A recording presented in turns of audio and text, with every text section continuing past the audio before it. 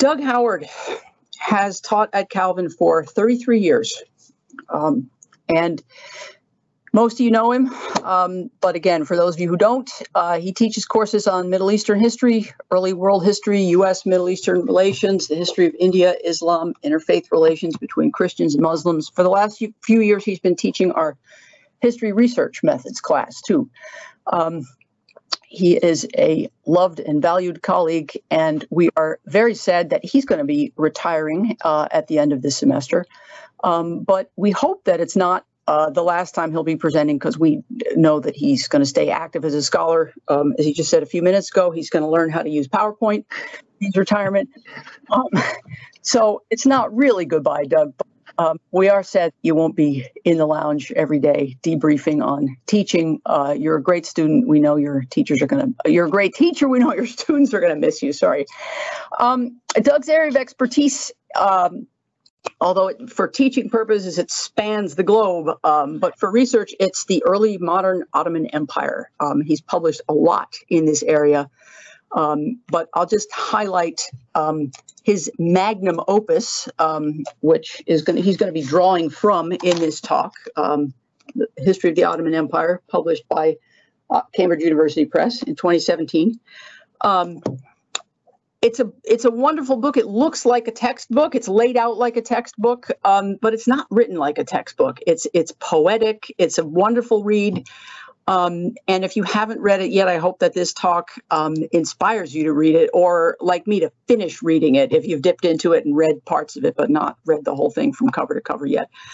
Um, so before I turn it over to Doug, just a couple of reminders about how these um, online events work. Uh, we have a chat box that you can open by clicking the little icon at the top that looks like a speech bubble. Um, and if you have a question for Doug, please type it into the chat. Either type the question or just type, I would like to ask a question, and then I can call on you afterwards. Um, keep your microphones muted in the meantime. Uh, it sounds like most of you have them muted, but I can hear a little bit of background noise. When you're not speaking, please make sure you click that mute button. Um, and when Doug finishes, I'll moderate the questions, um, and I'm sure we'll have a great discussion afterwards. Um, so, Doug, please take it away. Okay, thanks everyone. It's great to see you all from parts far and near, and uh, I'm delighted to be here. As Kate said, I plan to learn PowerPoint finally once I'm retired. Um, so, you know, if I accidentally, I don't know, leave the meeting or something like that, just let me back in and, and please be patient. I'm going to share screen now and Jenna, you'll help me control that, right? You should be able to do it yourself. So. Okay, and let's just go to. Start your let's go to the PowerPoint. Everybody can see and hear me? Yep. Looks good. Yeah. Okay, great. Yeah, so so Bert DeVries, um, you know, I first came to Calvin because Bert DeVries took a leave of absence to go and be the director of the American Center of Oriental Research in Amman. And I was his stand in, meaning that I used his office. I got to look at all his books. Um, I taught his courses. Then he came back and I could stay and I got to be his colleague for 30 plus years. I learned a lot from him you know, from like how to do a syllabus, and I still do it the same way that he taught me, to uh, how to how to manage your anger and frustration when things go down that you don't like. And he turned his into humble action, and I tried to learn from that. So, um, yeah, I'm glad that Kate said today's talk is with him deeply in mind. All right. The Ottoman Empire after Me Too and Black Lives Matter. So, what do I mean by that title? Many of us are used to thinking about um, how the past helps us understand current events, but do current events help us understand the past? Right? So, uh, the publication of my book called A History of the Ottoman Empire coincided with these two movements, the Me Too movement and the Black Lives Matter movement. I had submitted my manuscript to Cambridge University Press end of June 2015. It went out for peer review while I worked on getting like copyright permissions and line up the illustrations. I was working with my colleague Jason Van Horn and uh, his assistant on the maps and things like that. All of that took a year and a half so that the book finally was published and appeared in print end of January 2017, just as Donald Trump was inaugurated as the 45th president of the United States. Okay, then in October of that year, the Me Too movement really began with the Harvey Weinstein allegations and uh, Alyssa Milano advocating to everyone who had experienced sexual harassment and abuse post Me Too as their status.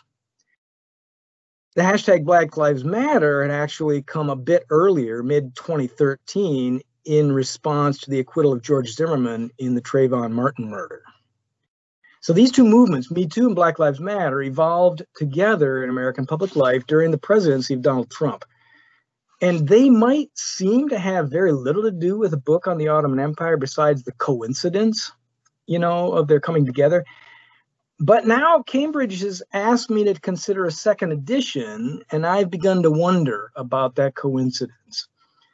Uh, the fact that contemporary social movements might indeed have something to do with understanding history can be seen in something like the 1619 Project, published by New York Times, August 2019. 1619 Project suggests that American history can be seen as the rise of a European empire built on African slave labor in North America. All right, so besides all that, um, another factor is that October 2019, I was contacted by Nigel Biggar of Oxford, who invited me to participate in the McDonald Center's Ethics and Empire project. This is an interdisciplinary project. General aims are, are listed here to review the history of critiques of empire, um, you know, to gather ethical resources, to test the ethical critiques of empire against the facts, the historical facts, and then to use that to contribute to a more nuanced, historically intelligent ethic of empire the project they've done two workshops one on ancient empires one on medieval empires and, and they're now going to take up early modern empires. I was brought in to help them by um, presenting to them you know the historical conditions and facts of the ottoman empire.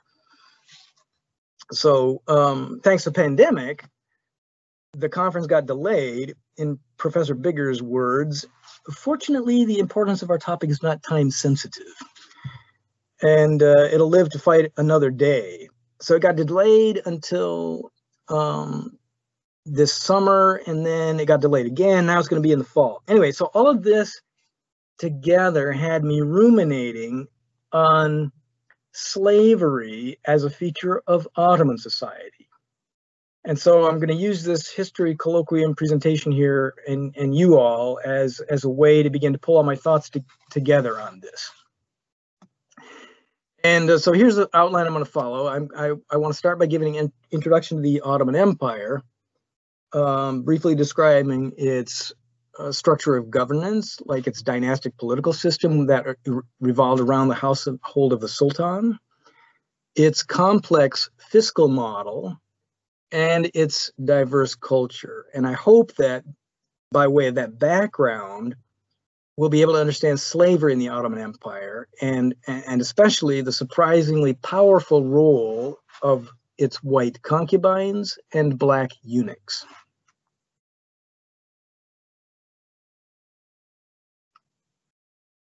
So let's start with this image, which is the cover image on my book. It's a painting um, by Konstantin Kapıdağlı, who was a Greek Ottoman painter, so Greek Christian Ottoman painter, and um, it's a, a, ceremony involving Sultan Selim III, who is enthroned there in the center.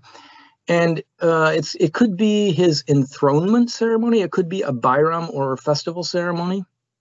But anyway, it's an introduction to me to to the idea that the Ottoman political model was not democratic. The Ottoman Empire was a monarchy. And uh, for those of us today who aren't familiar with life in a monarchy, it's worth pausing to remember that um, and and see that we don't understand what that is. What we call the Ottoman Empire was uh, in, in their sense, the realm under the sovereignty of the House of Osman, the eponymous founder. And the central concept, the central political concept, was the household of the charismatic conquering sultan. It wasn't a concept unique to the Ottomans. It was pretty common political fare across Afro-Eurasia in this era of steppe domination from like about thousand uh, CE to about 1750 of the Common Era. The Ottomans gave this common concept one of its most enduring and important expressions. The legitimacy of the dynasty was rooted in its success, which in the steppe tradition was evidence of God's blessing and grace. And this was affirmed and substantiated through linkages between the ruling sultans and charismatic spiritual figures, Muslim saints and holy men. And in this sense, the most significant political challenges to a political system like this came from rival dynastic households. These rivals needed to project, project the same qualifications, their conqueror bona fides, their connections to spiritual charisma. So the Ottoman political structure rested on the basic social foundation of the household. Political sovereignty of the realm was vested in the Ottoman household. The Sultan, his mother, his siblings, his sexual partners, his children, they formed the core of the household. The household also included a very wide circle of other members, many, I think almost all of them, legally and formally slaves. In fact, in the early modern period, a very large number of the personnel of the Ottoman government, the statesmen, the standing army of the empire, were members of this extended Ottoman dynastic household. We might reasonably say that the people who uh, who were slaves of the Ottoman household or had been slaves largely governed the Ottoman Empire. They formed the ruling class anyway the two main exceptions to that generalization one was a body of educated Islamic scholars, teachers, lawyers, judges. Uh, most of the scribal officials of the Ottoman administration, they were not slaves. They were not members of the Ottoman household. They were educated in the mosque and madrasa school system. That's one exception. The other exception was the provincial cavalry army and their households. They were not members of the Ottoman household and they were not slaves. In both cases, in both these exceptions, the Sultan's household created and managed their systems of professional accreditation, salary promotion. So this household institution and its concept was replicated to a greater or lesser degree with lots of variations, permutations in lesser households across Ottoman society. Ottoman politics basically amounted to the management of relationships in and between these households.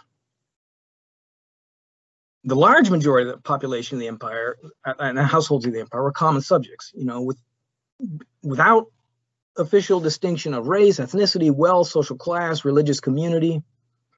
So just to be clear, the fundamental political distinction in the Ottoman world is not between Muslims and non-Muslims. It was between the ruling class and the commoners not that the Muslim non-Muslim distinction was unimportant. It was important in social life, but it but it wasn't um, the key political distinction. And you might ask why the Ottoman sultans relied on slaves of the dynastic household to produce their dynastic heirs and govern the empire. And essentially, the reason was that the political loyalty of slaves would be to their master. So the loyalty of slaves would not be compromised by any affiliation they had with a native family household and dynasty. All right, that's the Ottoman political model in a nutshell. How about the Ottoman fiscal model? Uh, first thing I'd, I'd like to say is that um, if we're going to use a term like the early modern, I, I don't, I'm, I'm ambivalent about that concept, early modern. I don't use it in the book, but the Ethics and Empire project does use it. If we're going to use it, I think one factor that marked the early modern period across Afro-Eurasia was this integration of regional networks of production and trade through the conquests and leadership of charismatic dynasties. And the Ottomans are one of those defining examples. So uh, the Ottoman economy was not capitalistic. Um, in the Ottoman case, between 1450 and, uh, excuse me, about 1440 and 1540, the Ottoman sultans led conquests of all the major trading centers and routes between the Danube River and the Crimean Peninsula on the north, and the Nile River and the Tigris Euphrates rivers on the south. So what I've got pictured here are four key examples uh, using woodcut illustrations and in one case an Ottoman painting um, to show them. Top left, Buda, just below the Danube bend in Central Europe, conquered 1541. Top right, Kefe, the main port of the Crimean Peninsula, terminus of the overland silk routes across Eurasia, conquered 1475. Bottom left, Cairo, at the point where the Nile diffuses into the delta, conquered 1517. Bottom right, Baghdad, at the point where the Tigris Euphrates come closest together, it controls uh, the trade with India via the Persian Gulf, conquered 1534. So to repeat, all of the major trading centers and routes between the Mediterranean and the Indian Ocean were in the control of the Ottoman dynasty by the middle of the 16th century. Um, the Ottomans used the term for these lands, Memalik Mahruse, translated the well-protected domains or the well-protected countries. Individual provinces they called Begler Begilik. That was the area under the authority of a governor called a Beglerbegi, literally commander of commanders. According to Ottoman protocols, the provinces were ordered by the chronology of their conquest by the House of Osman. Hence, they, they were structurally recognized as former independent kingdoms that had entered Ottoman sovereignty. They were governed by parallel military and civil structures. The head of the military structure was a pasha, an army officer.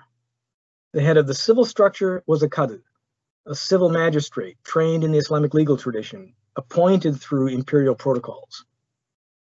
Through the military structure, each province supplied soldiers to the army under the command of the pasha, the provincial governor. Through the civil structure, each, provin- each province participated like in the, in the public commercial life is managed by the magistrates. And the magistrates applied both Islamic religious law and Ottoman imperial civil law. So the, the Ottoman dynasty was Muslim but a substantial part of the population of the well-protected countries was non-Muslim, perhaps as much as half. I mean, there were no censuses done. The first Ottoman census doesn't come till the 1880s, but even at that time, when the empire had shrunk in territory and in numbers of non-Muslims, even at that time, still 25% of the Ottoman population was non-Muslim. While the population was heavily agrarian, as really everywhere in early modern Afro-Eurasia, there were vibrant urban communities with a strong commercial economy, diversity of languages and religious tradition, variety of historical regional variation, and communication was via roadways and seaways.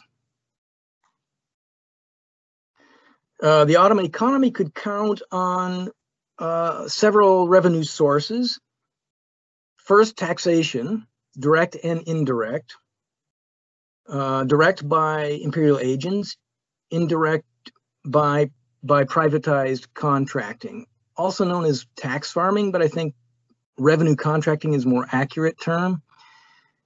And uh, a second set of um, revenue sources were fees for government services. A, th a third set, frankly, plunder, the booty taken in war, one fifth of which legal, legally belonged to the personal treasury of the Sultan, which leads me to say that the, there were two treasuries in the empire one, the public treasury, the other, the Sultan's personal treasury. And what I've got illustrated here is um, the records of cadastral surveys, which anticipated that taxes on the agrarian economy. And it's a reminder that extensive, voluminous records of all of this revenue collection were kept in the Ottomans' uh, um, archives. Okay, but a, a, another really important component of the overall Ottoman fiscal model was private philanthropy. This was accomplished by means of the charitable trust, Waqf.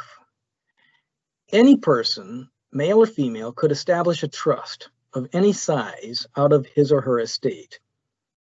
They had to draw up a charter stating the specific charitable purpose, its beneficiaries, the supervising staff, they had to designate the revenues from their estate that would endow the trust, and they had to register the trust with the magistrate's court. Trusts were permanent. In the Ottoman world, public property and private property were both recognized. Only privately owned property could be made into a trust. So these trusts, they ranged from massive trusts on the one hand, established by like members of the royal household. They built great mosques, soup kitchens for the poor, hospitals, asylums, bridges, aqueducts, and the like. On the one hand, on the other hand, down to tiny endowments, like to pay someone to read the Quran and say prayers over your grave. And importantly, trusts could be established with cash. And this helps explain how powerful a financial instrument the trust was to my mind, before the rise of the joint stock company, the the charitable trust in the Islamic world was the most powerful financial instrument available. For example, a cash trust could be established for the purpose of paying certain taxes for, for a neighborhood. The cash then could be loaned out to finance commercial ventures, and the interest accrued would go to the trust. So, in this way, it's, it's a very rudimentary explanation, but in this way, you can see that cash trusts function in many ways like banks. So what, we, what we've got up here is pictured as Roxolana Hurrem Sultan, the wife of Sultan Suleiman the Magnificent. She was captured, she was a slave, captured by Tatars in a raid in her native Ruthenia, brought into the Ottoman palace. She became a concubine and then the favorite concubine of Sultan Suleiman, 16th century. After she bore her first child, instead of being separated from the Sultan to raise her son as a potential heir to the throne, that was what he had always normally been done the Sultan, his relationship with the concubine was severed after she bore a child. But but Hurrem married Suleiman and moved into the palace with him and bore several more children.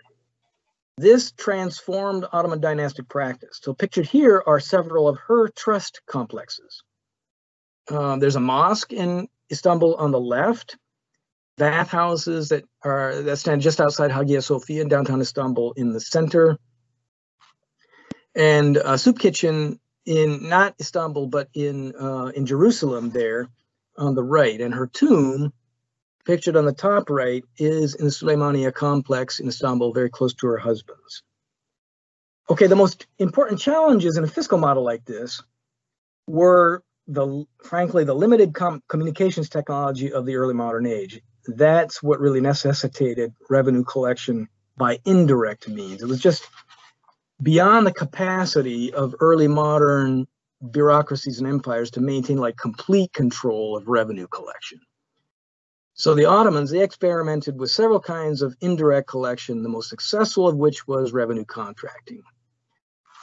It's often criticized as, um, as inherently corrupt um, because it relied on local contractors but what it what its benefits were, it, it brought local buy-in and investment, and it also um, risked localized control and the and the and you know the rise of locally based rivals to the Ottoman household. So the Ottoman household had to manage that. All right, that's the fiscal model. Uh, very briefly, let's talk about Ottoman culture. Man, it's hard though to summarize this in a couple of minutes. Ottoman culture was, you know, rose spontaneously in the climate of the times and extraordinarily difficult to, to just characterize it briefly. Um, overall, one gets the impression, I would say, of a kind of widespread commercially motivated literacy. Uh, the most impo- imp- important and popular avenues of cultural expression, in my mind, were poetry, clothing and textiles, including carpets, ceramics, and what I'd call the religious arts, especially chanting, singing, arts of the book, such as calligraphy. Important venues for performance included coffee shops and taverns, and I've got an illustration of one here that I think is just awesome. Um, it shows the poet Atai in a tavern talking to a learned man. And uh, I would I would add that uh, these poetic arts and venues crossed the divide between Islamic communities, Christian communities, Jewish communities. One other comment, maybe in general, I, I can't can't really go into this, but I but I would say that Ottoman arts and literature placed value not on optimism as we do in modern times, I think, but it's but but the dominating emotional regime of this society in early modernity was rather melancholia. It was a melancholic embrace of the suffering and difficulties of life. That's what really you find expressed in Ottoman culture. Uh, Ottoman culture expressed the diversity of Ottoman society, including religious diversity. Um, the ruling class was Muslim, as I mentioned, but there was no expectation that non-Muslim communities should become Muslims after conquest. Um, therefore, Ottoman society was quite religiously diverse. And even to say that it's it, it included Muslims, Christians, and Jews, it's true, but it's just far too simple. I mean, there were Sunnis, there were Bektashis, there were Qizilbash, there were Greek, Slavic, Armenian, Suriani, Egyptian, Melkite, other Arab Christians.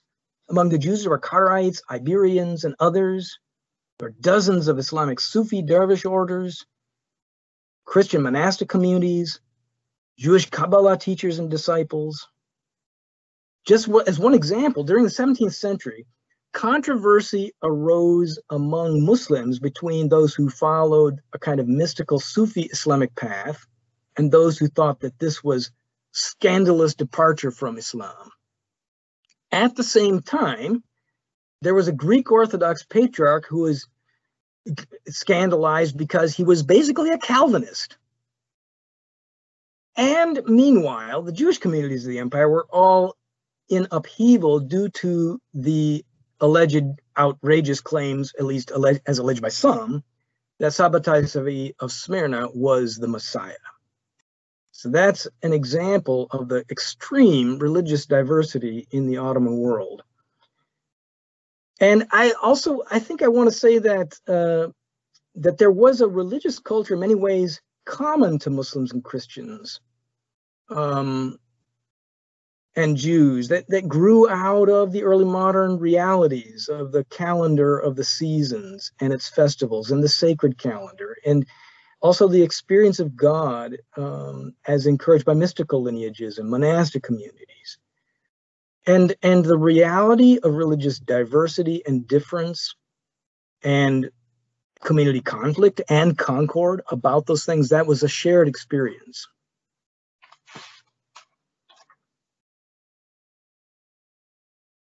All right, so all of that brief introduction brings us to the topic of Ottoman slavery and concubinage. I hope that there's sufficient groundwork there in the last few minutes to, to help us begin to understand this.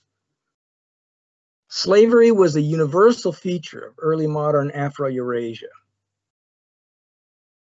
Ottoman slavery was therefore unexceptional in the early modern world. It was embedded in the ambient culture shaped by millennia of practice.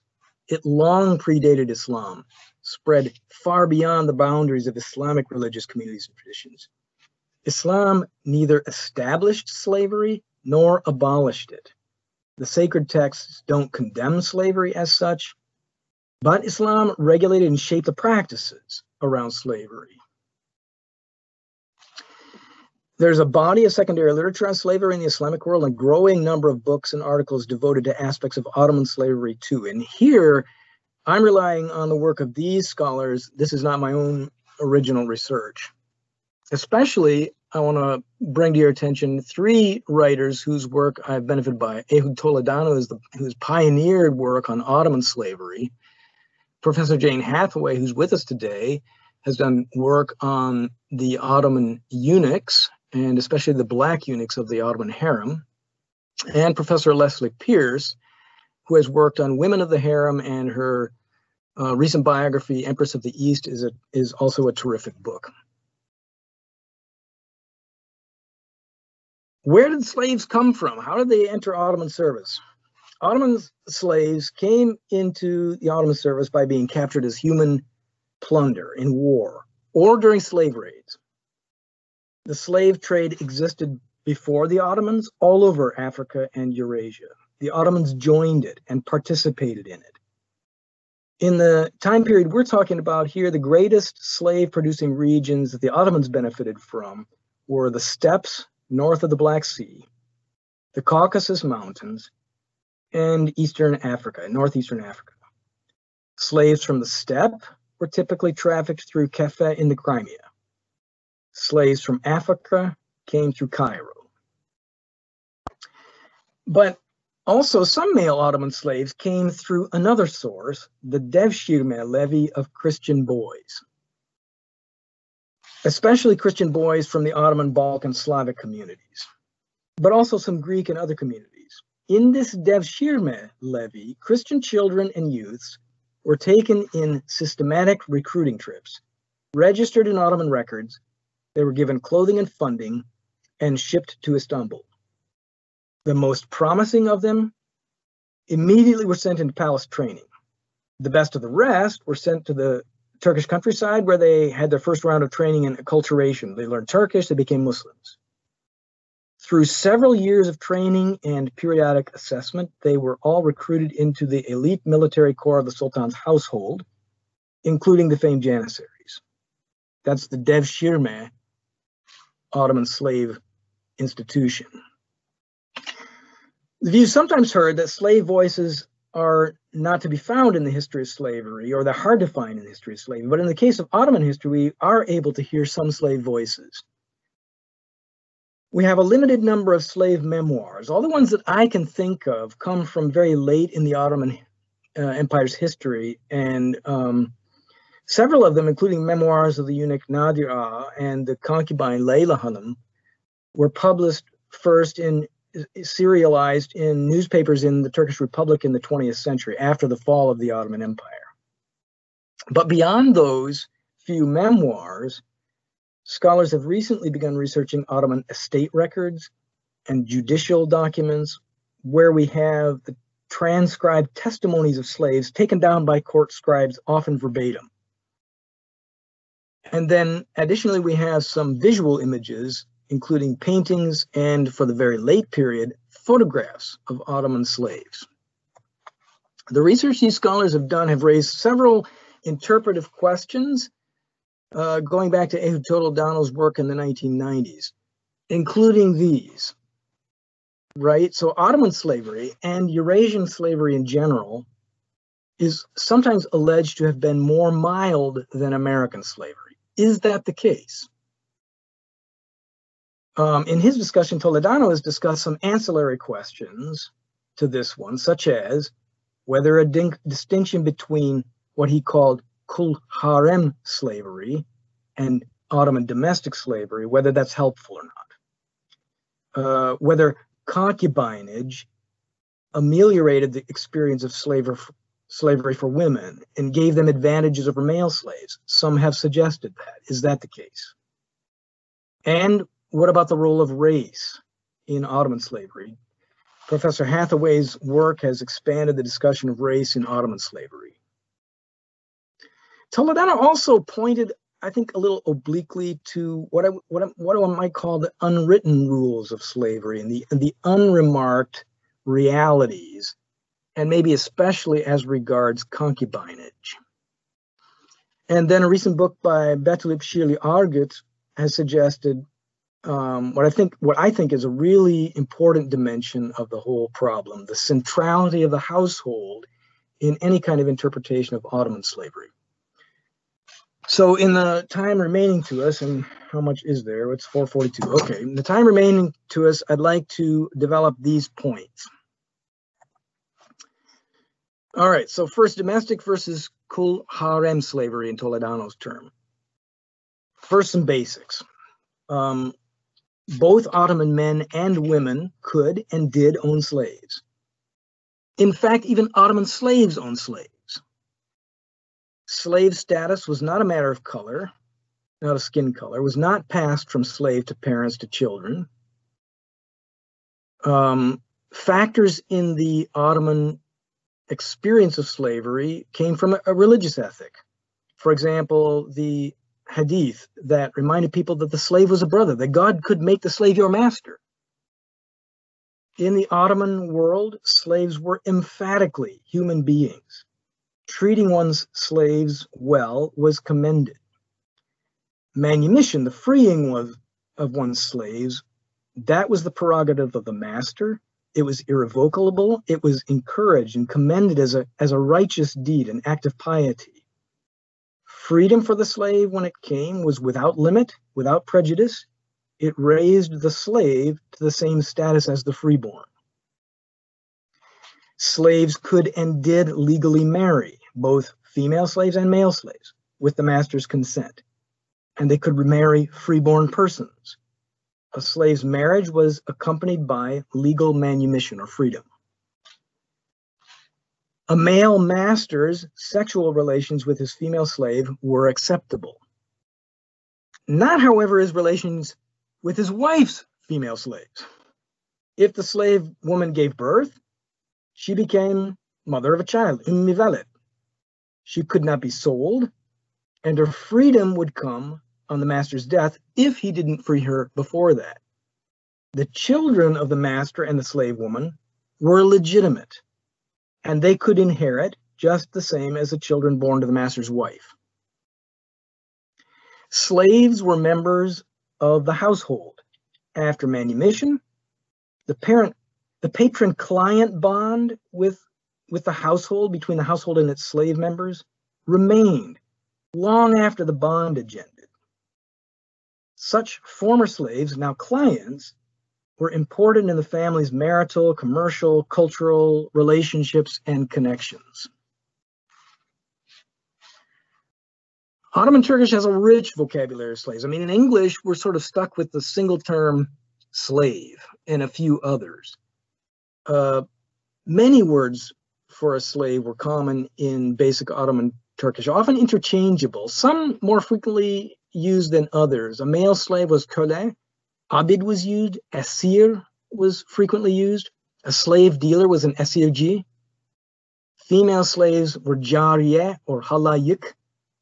Those might or might not be concubines, whereas I think odalık basically connoted a concubine. Some words for slave might be used more broadly, such as bende, for instance, bondman. Ottoman scribes and commoners used bende of themselves and corresponded with the Sultan, even though they were free men. The term kul, however, was used to mean a slave of the Sultan. Toledano's distinction between what he called kul harem slavery and domestic slavery to me is warranted because with the Devshirme institution, which was the source of a great number of the Sultan's male slaves, that institution violated the Sharia in clear ways, violated Islamic law. The Devshirme involved enslaving people who were the non-Muslim subjects of the Sultan, which Islamic law would have forbidden. So Devshirme slavery was instead governed not by the Sharia, not by Islamic law, but by the Sultan's decrees. The Sultan's decrees were law, called Kanun. But this was a law of a different sort. It fell outside of Islamic Sharia. So these slaves were the Sultan's kuls. This kind of slavery, this kind of Ottoman slavery has gotten the most scholarly attention, maybe, you know, understandably, because um, it's it's easy to find documentation for this in the government source materials that survive. Also understandable because these slaves essentially governed the empire as, as at least in substantial ways. Um, Additionally, İpşirli Argıt pointed out that because manumitted palace slaves who married and entered society at large, they became significant in the dispersion of Ottoman high culture throughout Ottoman elite society. What about concubinage and women's experience? Here, I think we have to be uh, real upfront and say we're dealing with persistent, long-standing misconceptions about Ottoman sexuality. The harem was not a sexual playground. I mean, of course, in a sense, sexuality was at the core of the Ottoman harem, just as I think we can agree sexuality is at the core of any household, of any society throughout human history. In the Ottoman household, the Sultan's sexuality was inevitably politicized. The Sultan's sex lives were governed by the necessity of dynastic succession. I don't think it's hard to see the psychological and emotional stress involved when sexual relations have constant political implications. Leslie Peirce has, has written about that. The purpose of concubinage in Ottoman palace slavery was dynastic reproduction. The sultans typically did not marry legal wives. Hurrem was the exception. Instead, they produced their children by slave concubines. And again, this was in order to eliminate the potential claims on the dynasty of a wife's family. Proximity to the Sultan brought immense power for these women, and sexual intimacy the most immense power. Because of this, the Ottoman palace, including the harem, was a highly regulated environment where strict hierarchical ranking was observed among the residents, both male and female. At the top of the hierarchy was the Sultan's mother, the Valide Sultan.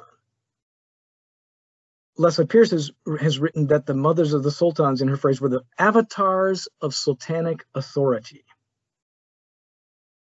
But as Douglas Brooks has observed, each woman that the sultan took to bed had to be provided a rank, her own suite of rooms and servants, and the right to advance in the harem hierarchy.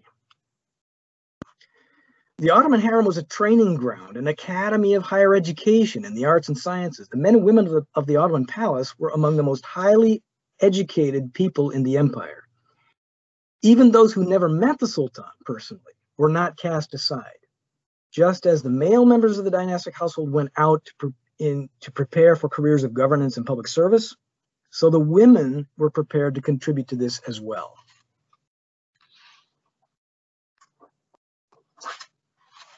Arnott writes about female palace slaves, large majority of whom never shared the Sultan's bed, maybe never even met him. They, they were highly cultured women. When they were freed after a few years, they were married to Ottoman statesmen. They continued their relationship of clientage with the palace throughout their lives. They became powerful allies in their husbands' careers. It was the palace graduates, remember, both men and women, who became the ruling elite of the Ottoman Empire. The Sultan's sons were ready for rule, of course, but, but, the, but the other men who came up through the system became the military, political, financial leaders of the empire.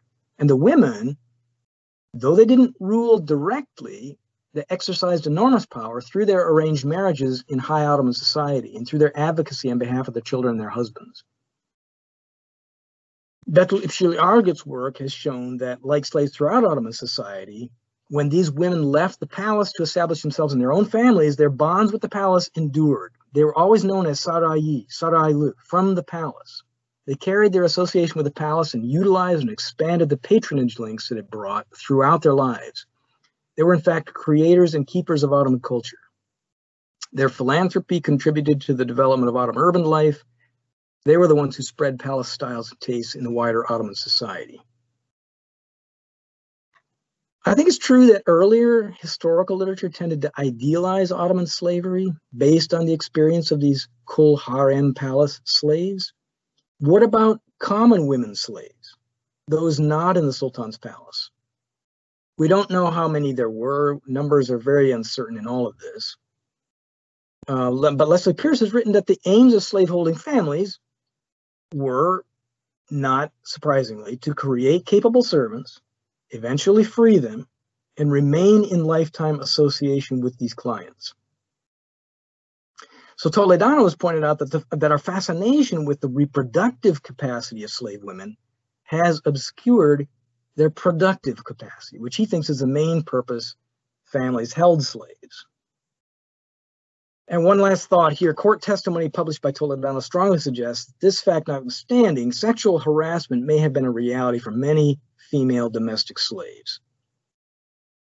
Toledano's evidence comes from a, a later period than we're talking about here, but it's not hard to imagine that the situation must have been also uh, similar in earlier eras. Coming to eunuchs, eunuchs were castrated male slaves. They lived and worked in the Ottoman palace among both the palace's female and male populations. Eunuchs became harem guards, but they also guarded young male recruits from abuse by older male palace slaves. White eunuchs served in the inner courtyard of the palace, which was a male space. Black eunuchs served in the harem, at least from the early 1600s. And here, illustrations of the two the title of the head of the white eunuchs, Kapı Ağası, Aga of the Gate. Of the black eunuchs, Kızlar Ağası, Aga of the Women.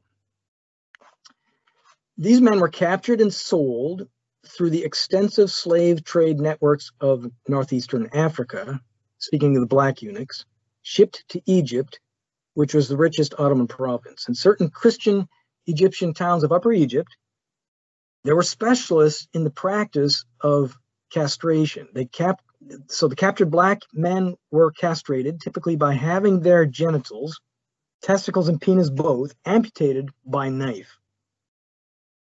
The wounds were cauterized by oil or by a method using sand pits. Survival rate estimates vary wildly in the literature. As to say, we don't know what the survival rate was. Those who did survive either entered elite Egyptian households or were sent to Istanbul. Jane Hathaway's research has emphasized the lifelong connection of Ottoman black eunuchs with Egypt. They entered Ottoman service through Egypt and in retirement or political exile, often returned to Egypt. Egypt was the financial basis of their power as well because they serving in, in the Ottoman harem in Istanbul, the harem uh, ladies were the founders Uh, or the the the financial backers of the holy cities trust of Mecca and Medina, and the chief harem eunuchs were their supervisors. That raises the question of race and blackness in Ottoman slavery. Was it a factor? Well, both white men and black men might be enslaved in Ottoman society, both white women and black women. Skin color was clearly recognized in Ottoman society, was a long-lasting feature of an Ottoman typology of ethnicities. Um, the famous Ottoman traveler Evliya Çelebi, for, for instance, often wrote humorously about the purported traits of various ethnic and national groups among the Ottoman subjects. Jane Hathaway's analysis sets this in the context of political domination of the empire by people from the central lands of the Balkans and what is now Anatolia. Those people were collectively called Rumi, the term for Rome that was applied to these lands of the former Roman Empire. The Rumis, people from these central lands, found themselves challenged by the influx of newcomers who came into the empire with the Ottoman conquest of the Arab lands in northern Africa. In Ottoman language, people of dark skin color were described with a range of terms. Zenj for dark toned people, basically from sub Saharan Africa, but, but not the Horn of Africa. Those people are Habeshi or Abyssinians. Even sub Saharan Africans might be divided into, uh, in terms used like Nubi or Sudani. Siyah, the word for black, could be used of people to contrast with Rumi or Evladi Arab, so Arabs versus Rumi. So these distinctions of skin color were known and recognized. Um, one example that uh, George Junne gives on the basis of, of uh, evidence published by Ron Jennings the phrase, he's my son, this is my son. He was born to me from my black slave. So they're siya jariem. Brooks thinks, Douglas Brooks thinks that in Ottoman society generally black female slaves were typically used manual labor, white female slaves had the had more genteel service. I'm not sure whether that's the case or not, but his experience shows that it was. Um, the women of the Sultan's harem in Brooks's time were all white women. Black eunuchs replaced white eunuchs as harem guards in the 1600s. Professor Hathaway suggests that maybe the change was more to do with palace factions than race as we would recognize it in a 20th or 21st century term. Okay, so we've seen here that Ottoman slavery fit the universal practices of the early modern era with some specific variations. Some Ottoman slaves enjoyed the privileges of wealth and elite status. A few entered the Ottoman palace service. Ottoman slavery was shaped by Islamic religious qualifications and norms. A crucial aspect of Ottoman of understanding Ottoman slavery we've seen was the institution of the Ottoman household. So that still leaves me wondering: is it is it is it we we heirs of the American experience of slavery and racism? Is it we who recognize in Ottoman slavery a basic human injustice? Was it only modern theorists you know, who see the paradox of the simultaneous marginalization of slaves and integration of slaves? Or did the Ottomans themselves recognize these things? Um, for people of the Ottoman Empire, and really for people in all the neighboring countries at the time, slavery was a fact of life, had been so from time immemorial. Yet the Islamic sacred texts treatment of the issue demonstrate that it was it was recognized by everybody that slavery, if it, if if not a deplorable fact of life, at least it was an unenviable dimension of the human experience. Right? It was better to be free than to be slaved. Um, so that suggests a recognition among these early modern people, including the Ottomans, of a fundamental injustice done to these human beings. Let me give three colorful examples to close, where contemporary Ottoman observers noted the injustice of the situation that they themselves were embedded in. First example is a comment from the, the great travel writer Evliya Çelebi. Um, Leslie Peirce commented on this. I haven't had a chance to look at the original, but but but Evliya Çelebi witnessed a line of slaves on the way to market and remarked that they were so badly treated, it was wonder any of them survived the march. A second example is this painting, which comes from the Süleymanname, um, an officially financed history of Suleiman's reign in the mid in, in the 16th century. Here we have uh, a scene from an Ottoman Christian town in the Balkans, recognizable from its architecture. On the left, we have seated on a dais a couple of Ottoman officials. One is writing in a, uh, a register, and the other has some coins. And they are registering the slave boys who are pictured in the bottom center, already dressed in their red outfits with their knapsacks um, over their shoulders and being um, guarded by a janissary on the bottom left, ready for the journey to Istanbul. And there's a crowd uh, gathered around it, and included in the crowd is, you know, a woman and a, a Christian priest who are questioning the janissary in the center of the painting. The janissaries themselves had come into Ottoman service by this very means. And then also note the distressed woman in the center of the painting with her hands up wailing. So in the pathos of this painting, we see the Ottoman artist grappling with the deep humanity of the situation. Third example is a story from Mustafa Ali's Counsel for Sultans, um, 1581. So this is a story told by Mustafa Ali. And about him, I mean, he was eloquent, but uh, one, one of these critique, critics of empire that, that the McDonald Center is really interested in. Um, and in the Counsel for Sultans is a kind of eloquently self-righteous screed. Okay, so in this story, the author, Mustafa Ali, is complaining about the current state of the empire, and he relates that once he was hounded by debt collectors. And the debt collectors were led by a certain Masih Pasha, who was originally from Egypt, and he was a eunuch. So the debt collectors alleged that Ali had owed several hundred gold pieces to the treasury. Ali claimed that this was all a mistake. He, his explanation was that some unnamed person had taken the money from the treasury and then signed an affidavit saying he'd loaned it to Ali.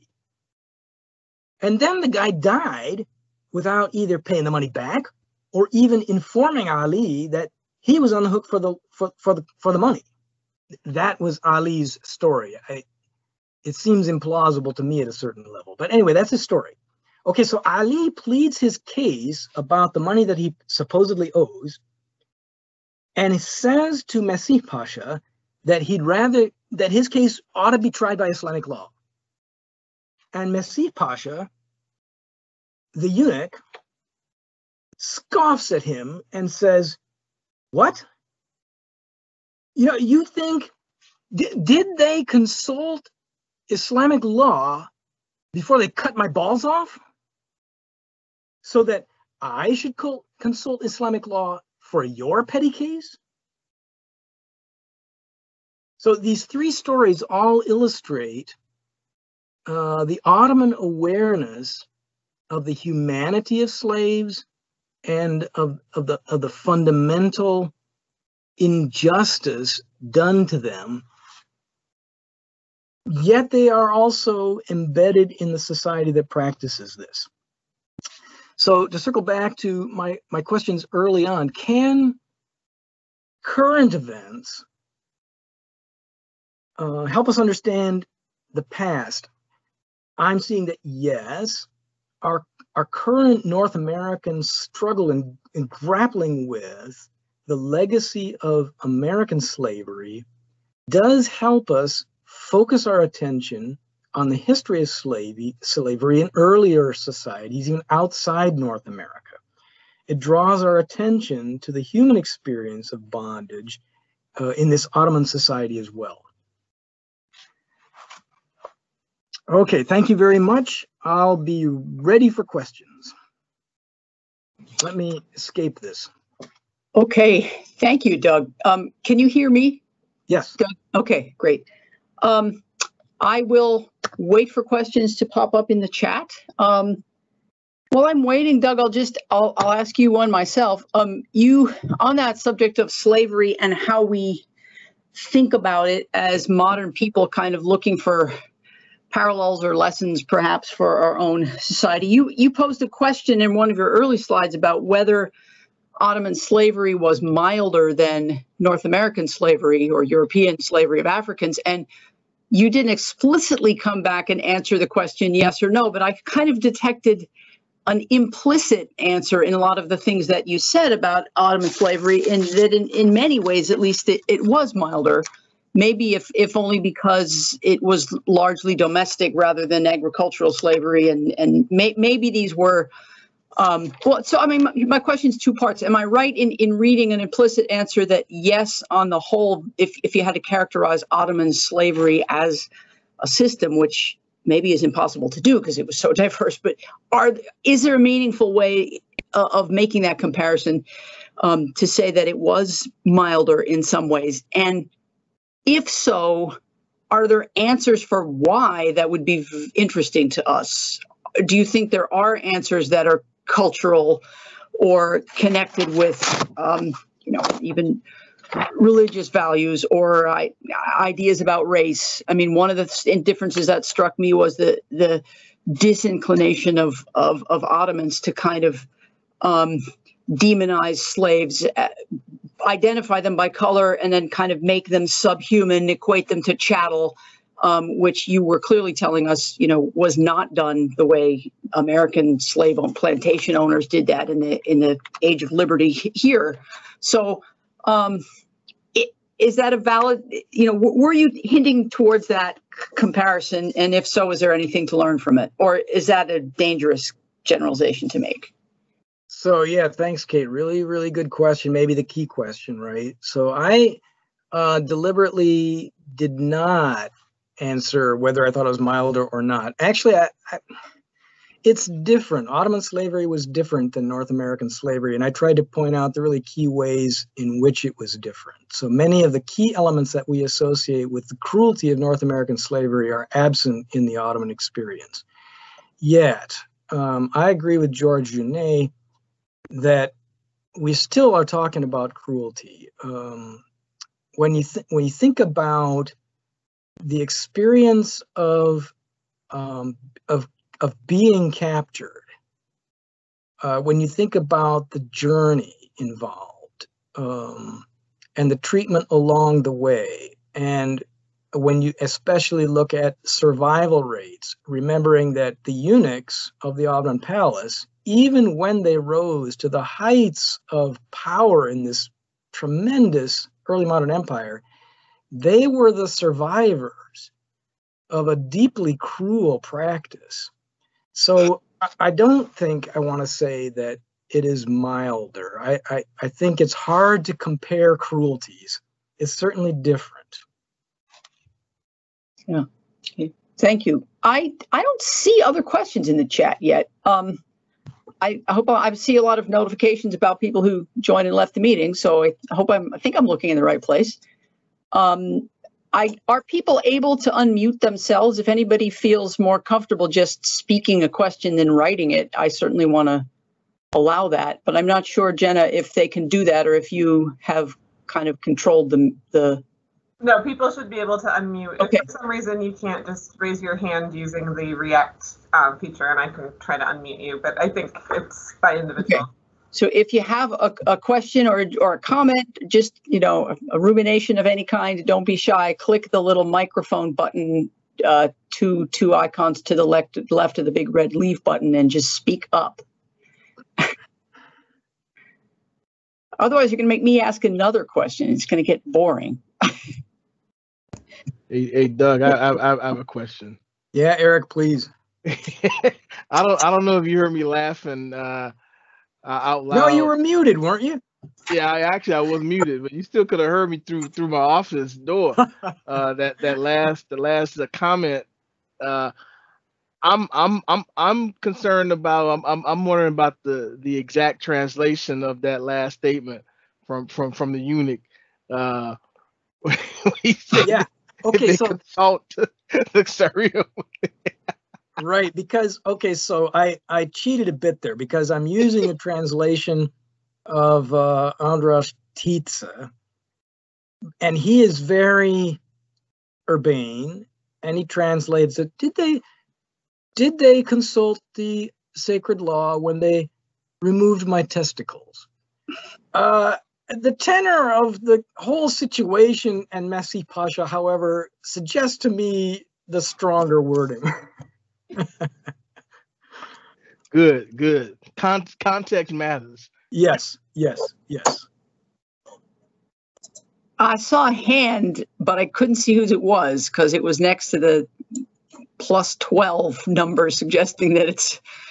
Uh, Okay, I'm gonna look in chat here. I see a question. Oh, yeah, sorry. Isaac. All right. Oh, now I see two. Um, hi, Isaac. How different was Ottoman conceptualization of property from the US? Does that seem important for differences in the institutions of slavery?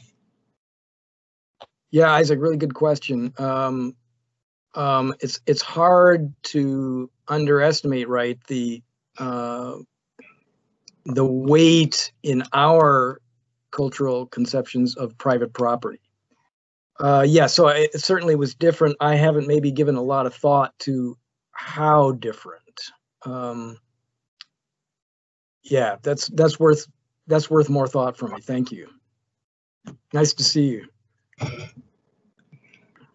Craig has a question, which kind of was going to be my second question. I think about your your observations towards the end about um, acceptance of this institution by people who recognize its cruelty. He wants to know whether the inclination towards mel- melancholy might have played into that. um, uh, maybe I would. This is off the top of my head. Really good question. Maybe I would see it the other way around. The melancholy is a result of this this kind of experience, right?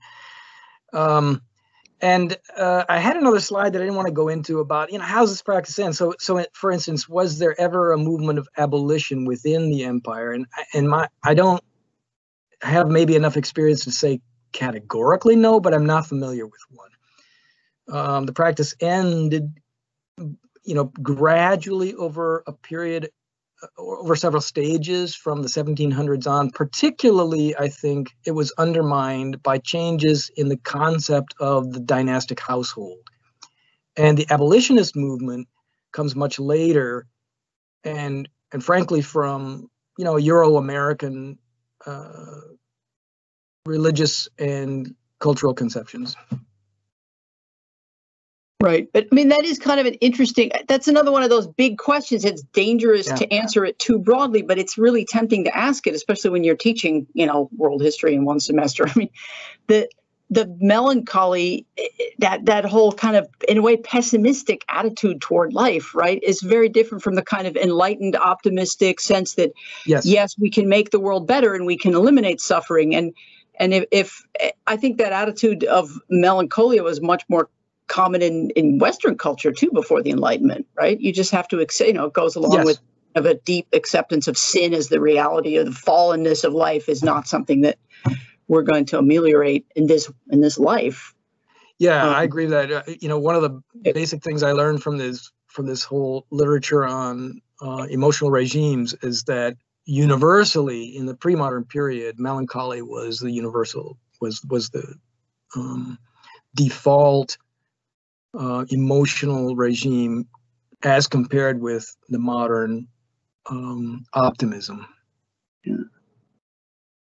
um okay Are you so- following chat, Kate? Yes, I am. Gottfried Okay. wants to know. I wonder if the Ottoman sense of an injustice was more concerned with. That's kind of the question that that you just answered. I think, right? uh, more concerned um, the act of enslavement rather than the status. Well, it's a that's a slightly different question. You want to address that? Whether the um, Whether the sense of injustice was more concerning the act of enslavement rather than the status. In other words, was the cruelty becoming rather than being a slave? Yeah, yeah, really good question. Um, maybe that's maybe that's a helpful distinction. Um, I don't, you know, I don't remember very many people actually writing about it. The Ottoman struggle, you know, emotional struggle with the whole issue of slavery, uh, and typically, I think I think the evidence suggests typically Ottoman slavery didn't last long. So a few years before manumission was, you know, was was given. So maybe that's a dimension of it too. Um, yeah, good. The examples I gave all seem to indicate that really we're talking about the initiation into slavery, the lament about falling captive during war or being captured by the Tatars in a raid or something like that, right? Or by slave traders and carted off for castration, right? Um, so the only other question I see in the chat, uh, there are two, two comments. One is a thank you and goodbye from Jane Hathaway and a thank you from Craig. But John Meyer asks um, about the Vakif. You talked a little bit about Yeah. this early on. Could you speak a little bit about the historical origins of this and how widespread it was? Yeah, really good question. So uh, that's a huge topic. Um, Waqf um, is an Islamic religious concept that originated, as far as I understand, in, in the Middle Ages, 10th, 11th centuries, especially um, was used by um, powerful Muslim monarchs in creating institutions. For example, the institution of the madrasa in higher learning was uh, was, as far as I know, um, an outcome of this kind of financing, this kind of financial model. So it's uh, defended on Islamic grounds, um, not entirely uncontroversial, but comes in comes in the Middle Ages, and and in this period, in I think there's a Safavid equivalent, there's a Mughal equivalent, were you know was the most the most powerful financial instrument used to build um, to build capital. I think you would say in the Islamic in Islamic Afro-Eurasia. I see something from Gottfried. I wonder if the Ottoman sense of an injustice of slavery was more. Oh, that's the one. That's yeah, the one you answered. Yeah. That's Gottfried. That's a I- great question. you want to take a second stab at it or No, no, Gottfried Okay. could answer better than me. No. All right, Chad has one. Um, is it your sense that the notion of the possibility of up to a million Western European slaves entering the North American world is likely overstated, i.e., like the story of Gudridur Simonardottir, the Icelandic captive? Wow, I don't know anything about numbers. Um, and Eric might might know about the whole debate about numbers in North, North America. I, I I I don't think that question is in the very primitive stages of being answered in the Ottoman world. Um, we just have such wildly varying estimates about numbers, mostly coming from European observers in the Ottoman world. But I I I, I just am not able to answer that about the numbers of American slaves. Wait, I don't think he means North Af- American slave. He means enslaved Europeans, right, in the in the Mediterranean and Oh oh oh oh. oh. I think being enslaved by Ottomans. Yeah, I don't. Yeah, I just think that the that the the the evidence does not enable us to even begin to estimate how many were enslaved, right? And and remember, when we use a term like Europeans, be self-conscious. One third of Europe was the Ottoman Empire, and also remember that this is a, a a universal Afro-Eurasian slave trade in which Turks also were enslaved, Russians were enslaved, Africans were enslaved, Venetians were enslaved, and so on. It's not it's not something only the Ottomans were doing to Europeans. It, it's also worth remembering that it was often a temporary status too, right? So you had people like Miguel de Cervantes being a slave for five years in North Africa and then being ransomed and then going on to, you know, have a have a, a prosperous f- life for many more decades. So it's not quite the same thing. I mean, any, anybody who might be trying to compare that to the African slave trade, you know, would be. It's, it's not just a question of numbers; it's a question of the nature of the. And I take that to be the what's behind the hadith, you know. Remember, the slave could become your master. It's it's such a topsy-turvy world. Really, hmm. any person ran the risk of being enslaved if the Tatars came and raided your village, you know. Yeah. Well, I guess you're saying in a nutshell, the, the, the Istanbul, the sort of the central sources don't really shed much light on what might be happening uh, in Go ahead, Jed. I, I got Chad the got first cut part of off that. at the end. Um, so the, They I don't- think you're asking about the the nature of the source materials. Yeah, they don't really Mhm. give us numbers. The Ottoman uh, cadastral records, for example, they count households. They don't count people, and uh, slaves don't appear there at all. Yeah, I mean in the in in the counts. Thanks. I think I see one more question um, that sounds like an excellent question for you to end on because there's a lot of uh, choice here for how you want to answer it. And that's from someone named Phyllis who says, Are there lessons we can learn from the Ottomans? Yeah, I I think The yeah. answer isn't allowed to be no. for for sure, right? So that, yeah, the question I was asking at the outset: Can um can our experience inform us about the historical past? But then the, also the question: Can the historical past inform us about to, today? Um, I think we can say that from from the Ottoman experience that humans are really well practiced at inflicting each other with great cruelties. And um, they help us, I think, lament the cruelties of our own times that we inflict on others, sometimes unintentionally, other times with full knowledge. The Ottoman experience helps us see the sadness and the pain of that. Yeah, thanks for the question. Thank you. Well, if I have missed anyone who wanted to talk, now's your chance to just shout out and ask one final question. Um, otherwise, let's just all thank Doug for a wonderful and stimulating presentation. Thank you.